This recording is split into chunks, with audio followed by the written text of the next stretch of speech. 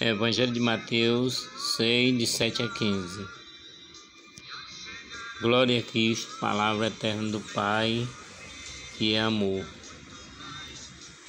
O homem não vive somente pão, mas toda palavra da boca de Deus.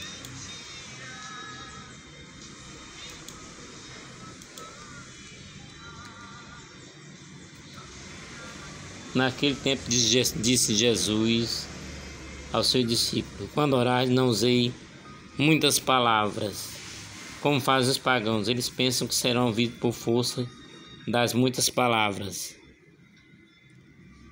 Não sejam como eles, pois vosso Pai sabe do que precisa, muito antes que vos peça. Deve rezar assim: Pai nosso que está no céu, santificado seja o teu nome. Venha o teu reino, seja feita a tua vontade, assim na terra como no céu. Pão nosso cadinho dai hoje, perdoa as nossas ofensas, assim como nós perdoamos quem nos tem ofendido. Não deixei cair em tentação, mas livrai do mal. Amém. De fato, se perdoados aos homens as faltas que eles cometeram, vosso Pai que está no céu também vos perdoará. Mas se não perdoardes aos homens, vosso Pai também não perdoará as faltas que cometestes. Palavra da salvação. Glória a vós, Senhor.